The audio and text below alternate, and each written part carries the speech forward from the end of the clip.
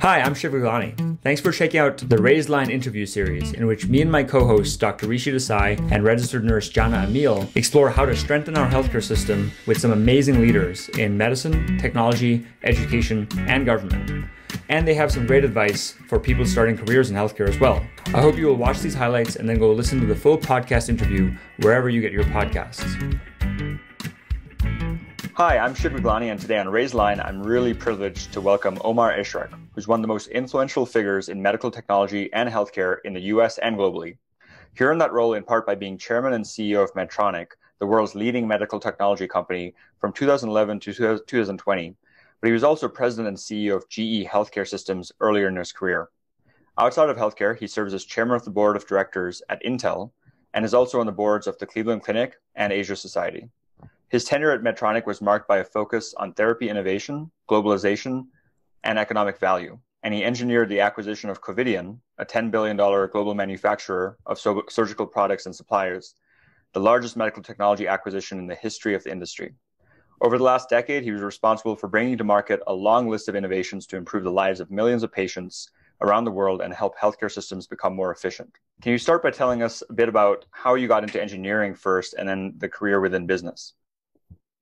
Well, I, I, got into engineering because I took a degree in electrical engineering, which, um, you know, I just felt I wanted to do.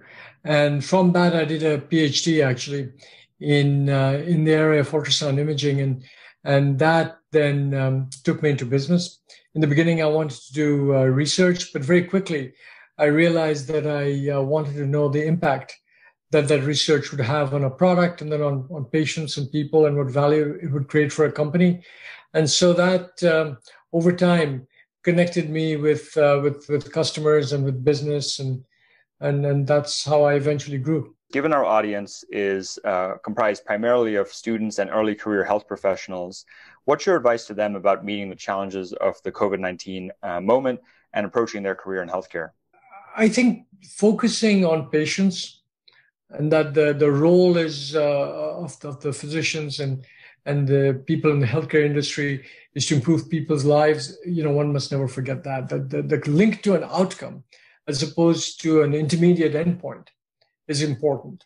You know, the other thing that is uh, also important is this notion of working together with others, but at the same time, recognizing that healthcare is a granular effort. You have to understand the details, you have to understand them in, in, in extreme depth, and you can build an entire career, an entire lifetime on just focusing on one thing.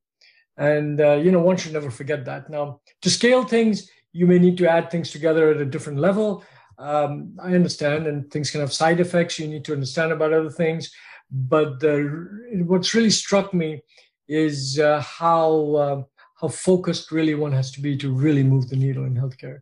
So these two things uh, I would uh, I would leave with the audience um, that as they you know so think about their careers in healthcare can remember these.